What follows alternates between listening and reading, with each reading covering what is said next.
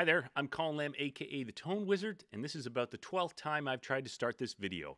I hope you're doing very well wherever you may be, and just for your information, my wife has been heckling me from the other room. Um, we have a tiny apartment, and I thank you for her patience in the process, but now I'm going to start this damn video. So before I do, I just want to say thank you to everybody who tuned into my live stream last Friday. It was a lot of fun talking to you guys uh, and getting more um, feedback on that series that I've been doing. If you're new here, I did a series called Getting Into Phish that's similar to this series. And basically, I picked a band that I really wanted to get into, and I started checking it out. And a lot of the fun of that um, process has been talking to people who've given me so many suggestions and um, I, I talked to people from all over America. I had a had a show, um, a panel show where I talked to a guy from Portland and a guy in New York, and I'm up here north of the border. So that's been a lot of fun, and I thought I would diversify the content here and try to get into another band. So that's where we're going with this today. But if you did join me on the last uh, live stream, thank you very much. If you weren't there, consider joining me on the next one. I will be making a live show announcement at the end of this uh, video, and uh, also uh, look out for a new episode of Ween Talk that I'm doing on Sunday. I'm going to have a guest on that I'm looking very much forward to um, talking to. He's got a new project that I really enjoy, and uh, hopefully I can help him get the word out about that. So uh, if you're uh, new here, please feel free to subscribe to the channel or check out some of my other crap, or don't. no, it's entirely up to you. Um, so the title of this video is going to be the topic of these videos, a new series that I'm hopefully going to get get going here. Um, but it's going to be I'm trying to get into Frank Zappa. All right, um, and I have to say I've tried to get into Zappa before, and it just hasn't taken. Uh, the last time I tried to get into Frank Zappa through the miracle of the Spotify algorithm, I actually ended up getting into Jethro Tull. Um, but the reason that I'm trying to get in here is that a lot of my friends and former bandmates and musicians that I play with, they all really revere Frank Zappa and they all talk about Frank Zappa and play Frank Zappa. And I kind of feel like the odd man out. And I also feel like maybe there's something I'm missing in there. So I just thought this would be a great band to get into. And just like Phish, which I just did my series on, there is a ton of music, live footage, all sorts of shit. I think he even maintained his own archives. So I feel like there's a lot of stuff there. And, um, like I said at the start of the video, been feeling a little down lately, and some new music would be just what the fucking doctor ordered. So, at any rate, um, let's get right into it. So, what do I know about Frank Zappa? So, I didn't do a lot of research before this video. I never do a lot of fucking research for any of my videos. Probably a, a big downfall of the channel. But at any rate, um, I, I didn't want to do a lot of research. I just wanted to give you my sort of out of the gate opinion, what I what I know, what my impressions are uh, about Frank Zappa, and obviously some of them are probably going to be wrong. And throughout um, this series, I'd really like feedback, um, any suggestions you have in terms of documentaries, albums, interviews, uh, articles, or anecdotes, anything you have, just throw them my way. I will definitely check them out and talk about them on uh, later episodes. And as with all of my series, if you want to come on and be a guest and talk about Frank Zappa, uh, by all means, get in touch with me through one of my social channels or through the email in the About section of my channel, and uh, we can make that happen over Zoom. But, anyways, what the fuck do I know about Frank Zappa? Well, I know that he was a musical prodigy. I know that he was a superb guitar player by all accounts. Uh, I know that he was a renowned composer and a band leader, and I have to say that is kind of my impression of what Frank Zappa is. It's my understanding that he had many iterations of his of his of his bands, touring bands and studio bands, and that um, you had to be something special to be in the band, or he would kind of take you in and kind of morph you into what he wanted you to be. So in that in that respect, he's kind of been a composer as the main kind of author of all the music, and that he puts all these bands together to serve his his evil will, um, if that's what it is. But I I do know about the Mothers of Invention which I think is a fucking fantastic band name. I've always been a fan of the expression necessity is the mother of all invention, um, uh, which we won't get into, but I just love that phrase and I love the band name. I would use that fucking band name, I want to believe, if it didn't already exist. Um, so, I, I, as I said earlier, I, I'm aware that he maintained his own personal archives, and I'm kind of interested in that because that, that seems, I know Prince did that. He had like a, I think Prince had a literal fucking vault. Um, you know, and by the way, I got I got a fucking terabyte hard drive, you know, underneath the microwave full of music that nobody's ever gonna hear. So I I can kind of respect that that idea. But it also seems like a bit of a vanity vanity project. I, I don't know. Let me let me know about that if you know more about the archives or if he's released them because actually quite recently I think Neil Young put his archives up online. I think you can pay a membership fee and just go on there and click through all that stuff. I actually took a little bit of a look at that stuff, but I never paid for it. I never got deep into it. So let me know if you know about his his alleged archives. Um, I also know that he performed with John Lennon. Um, I think I've seen or heard some footage of that. I, have heard about that. I'm a huge Beatles fan, so I do know about that. And of course, um, I know that he has children named Dweezil and Moon Unit, and I think Dweezil um, still tours. I think he came to Vancouver a couple years ago, but I missed that. Uh, and last of all, I I know that he was a, a, fairly grumpy bastard, or at least that was my impression of him, because uh, a lot of the interview footage that I've seen from him, and a lot of the photos as well. I mean, could you say that that's a happy look on a man's face? I don't know. I don't know. A bald man, uh, I am. I'm not going to criticize the hair, but yeah, a lot of a lot of the, the video footage that I've seen of him, he seems kind of worked up and grumpy. He's kind of coming in a little jilted, a little jaded, and I'm kind of looking forward to see what the fuck was pissing Frank Zappa off so much. So yeah, that that's kind of my impression. And again, that's not a researched impression. That's just what I've accumulated as I bumbled through life on my seemingly endless journey of discover discovery and wonder. It was supposed to be wonder and discovery. I actually wrote that down and I fucked it up. Like I fucked up the start of this video so many times. If you're new to the channel, there's a lot of swearing, there's a lot of impromptu anger, and it, it keeps them coming back. 341 subscribers can't be wrong. Um, anyways, so that's kind of what I know sort of already about um, Frank. And I, like I said, I've tried, I've made a couple of attempts to get into Frank in the past. And I just went to YouTube, typed in Frank Z, and then hit enter. I didn't even type the whole fucking name. That's the miracle of the YouTube algorithm. And the first thing that I saw that came up was uh, an interview that he did with a, a um, you know, I got to say, a real trooper um, from MTV, I think it was in 1984. It was 12 8, uh, 1984. And um, by the way, if, if you're if you're just uh, on my channel and you're not not into Zappa, um, you know what? Maybe come along with me here and, and let me know what you find as well.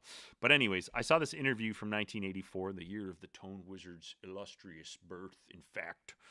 Um, um, yeah, I saw this interview with him with a, a woman, and I'm going to put a link to this uh, in the description of the video. But basically, I don't know who set the interview up. I don't know why he accepted the interview. I don't know.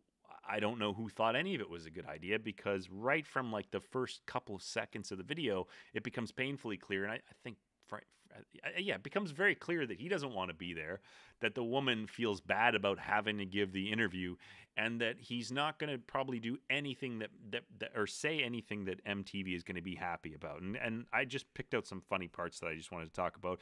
Um, the, um, the interviewer was asking him what kind of music or inter- I can't remember what he was, she was asking what he was into, and he said jazz dish discharge party hats. I don't know what that is. I got to look that shit up and maybe I will. I'm going to circle that. I'm going to take a little note here. I'm going to look that up, and on the next episode, hopefully, I can figure out what jazz discharge party hats is.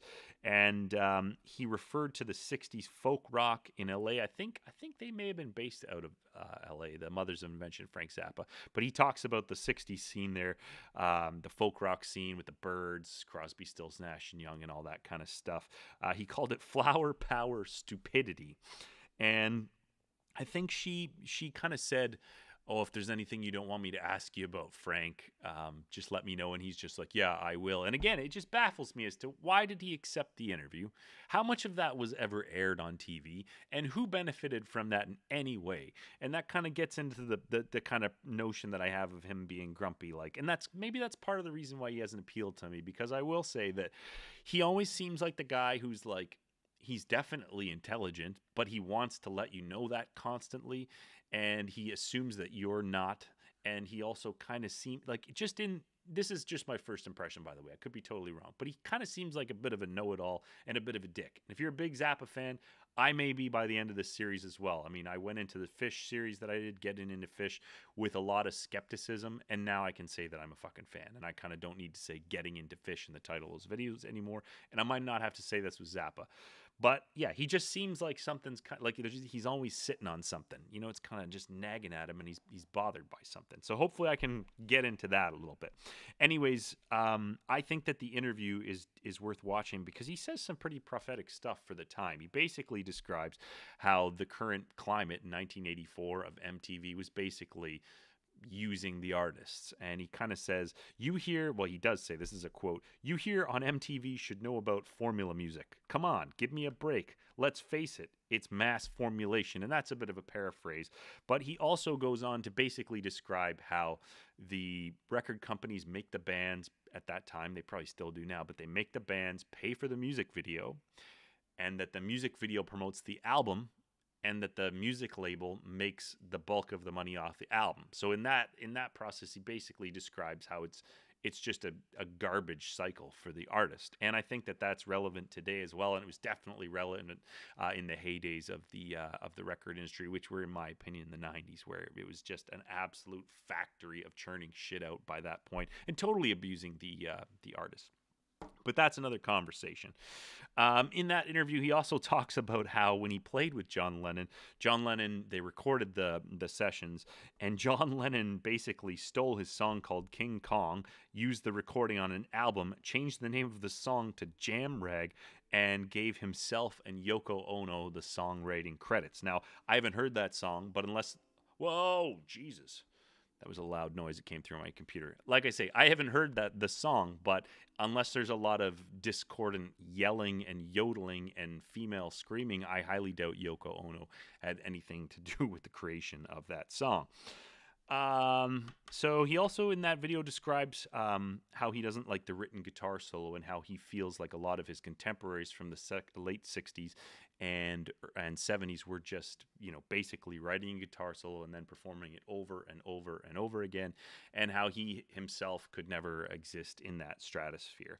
Um, so i just want to say that that video is really worth watching if you're not uh, into frank uh, zappa and and you're like myself and you're looking to get into it because um, it kind of gives you a bit of a nutshell in my opinion of of what you know of, of what his his vague projection is. Like if you're not really a lot into him, I think that that sums up a lot of things that I've said. And truthfully, a lot of my opinions may be based on that video that I've watched before, but I don't know. I'm looking forward to getting into it.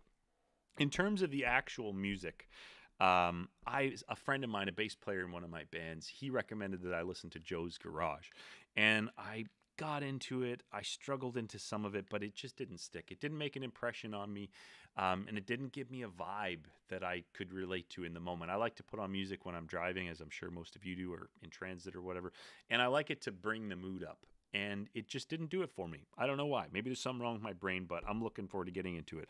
And I will also say that I've had some comments with my trying to get into Phish videos that people were saying like you shouldn't have to try if you're just into it, you're into it. But I don't think that's true, particularly in the case of an artist like Phish or even Ween to some extent, or most certainly Frank Zappa, where there's a huge amount of content. And if you just randomly pick a song out of like 400 pieces of music, you might not like it. But to that point, I'm a huge Beatles fan, but there's a catalog of over 260 songs, I think and there's probably 20 or 30 of them that I don't like and didn't like when I first heard them, such that if you just dropped into the Beatles, if I were to have originally just dropped into that catalog and chosen a song, I wouldn't have liked the Beatles based on those songs if I just heard those songs. So I'm definitely looking forward to getting into this, and I really would appreciate your suggestions as to where to start. Obviously, I'm into Phish and I'm into Ween, and I think that there's a lot of fan crossover there um, into Frank Zappa. And I did see Zappa come up in some of the comments on my Ween show and in the Phish show. So definitely give me your your your thoughts there. So um, and by the way, when I that was when I did that initial search there, that's when it brought me to Jethro Tull, and I should really do a show about Jethro Tull because I think there's a lot there. There's a lot of pure joy there, um, and uh, that that's a photo I forgot to scan too, but that's from the interview, and I think that that picture pretty much just like if there's a guy in a room looking at you like that, waiting for you to start talking, you know that the conversation's not going to go however you thought it was going to go and you know that he doesn't want to be there. That's like if I were, I, I want to get that on a T-shirt that just says like, "What," you know. That's like that. That could be my stepdad. The only thing missing from his mouth is a cigarette. As I ask him if I can go play in the afternoon instead of refill the pool that we never filled with water, stepdad. Anyways, that's a fucking whole different conversation. Um, okay, so my overall impression at this point is that I don't really dig the the vibe, and I think the vibe to me, I'm just without a lot of experience in, in Frank Zappa, is just this poetic snarkiness and this jazz like club kind of vibe, back of the cafeteria kid kind of thing going on. And uh, yeah, I don't know. I also checked out um, this performance of Cosmik Debris, and that kind of subs up that that that po- poetic snarkiness that I'm talking about. Because the whole time, like, and again, if you're a big Zappa fan, I don't mean to offend you. This is just my first impression, and this is somebody who genuinely wants to get into Frank Zappa and see what it, what all the fuss is about. But when I watch this video, it's like he's talking and he's like, "I'm smart, man, and if you if you are down with this vibe, you're you're stupid." And I fucking I am I'm making an ass out of myself. But I just I don't get the the vibe. That was horrible. I don't edit these videos, so that's going to stay in. But it's just some jilted back of the cafeteria stuff that I can't get into. I'm just being honest. And I'm looking forward to maybe some of you changing my mind. And that was stupid what I just said. But what I want to say about the actual music that I've heard is that I tend to to be to favor bands that that focus on songcraft. Uh, and I don't mean to say that Frank Zappa was a bad songwriter because the legacy of his career and the fact that I'm talking about him all these years after his death is evidence that he was good at songwriting. But when I say songcraft, I mean like the Beatles that had the song and it was it was an it was just a simple beaming perfect crafted object that they put out.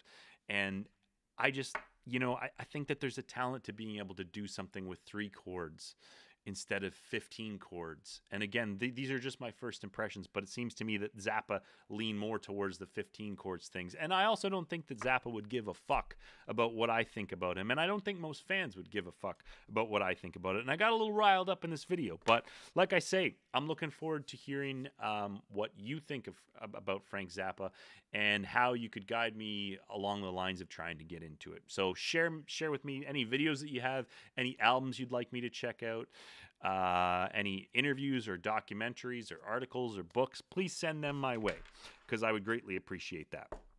And before I talk myself further into a hole with all you fine Frank Zappa people out there, uh, I just want to thank you for watching this video. Uh, check out some of my other stuff if you feel like it. Like the video and subscribe to the channel if you feel like it as well.